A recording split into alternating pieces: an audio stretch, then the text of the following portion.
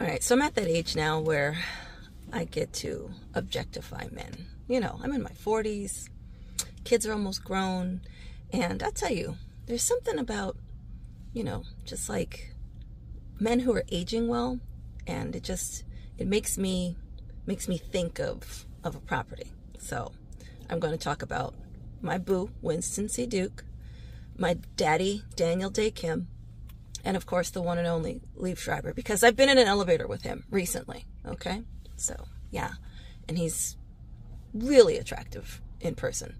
You know, I would say even more so than he is on screen. So, if they were each a property, okay, and you tell me if you agree with this or not, but Daniel Dae Kim strikes me as the type of like really ultra modern, like overlooking a cliff, you know, the ocean in the background, clean lines, neutral warm woods, you know, that kind of that kind of feel. And Liev, I've made a video about him before because that man is a brick house, okay? Just like traditional but strong and empowering and just gonna like stand the test of time.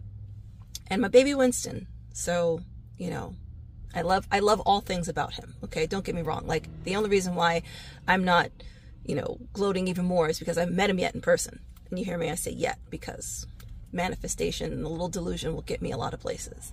But he is one of two. He is either my ideal kind of like converted industrial loft with 15 foot ceilings and broad spaces and then like a whole glass wall in an urban setting, but you know, like you're on this like lot that nobody knows about. That's, you know, like that backs up to a park and you forgot that that, that exists in New York because it does. And I've sold one of those before. Okay.